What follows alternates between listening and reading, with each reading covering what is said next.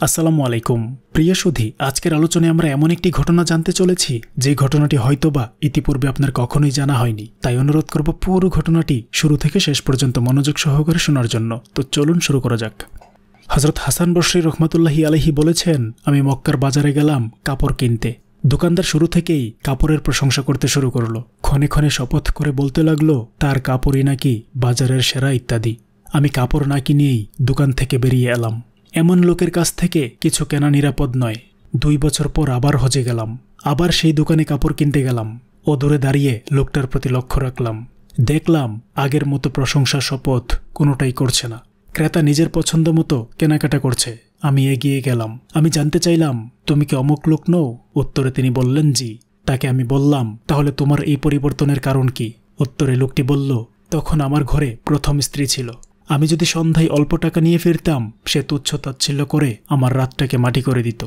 আর যত বেশি টাকাই নিয়ে যেতাম, তার চোখে লাগতো না।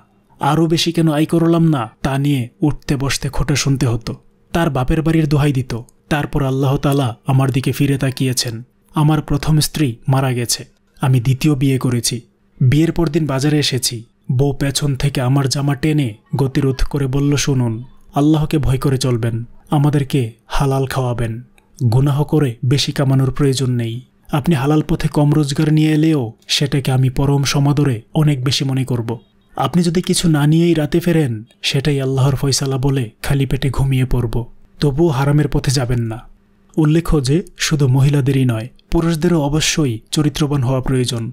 কিন্তু একজন মহিলা চরিত্রবান হওয়া মানে একটি পরিবার চরিত্রবান হওয়া।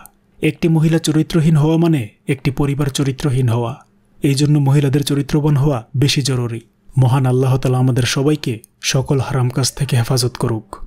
সকল পুরুষ ও নারীদের চরিত্রবান হওয়ার এবং সকল মুসলিম পুরুষকে ন্যাক্কার স্ত্রী নসিব করুক এবং সকল নারীদেরকে এমন ন্যাক স্ত্রী হওয়ার তৌফিক দান করুক। আমিন।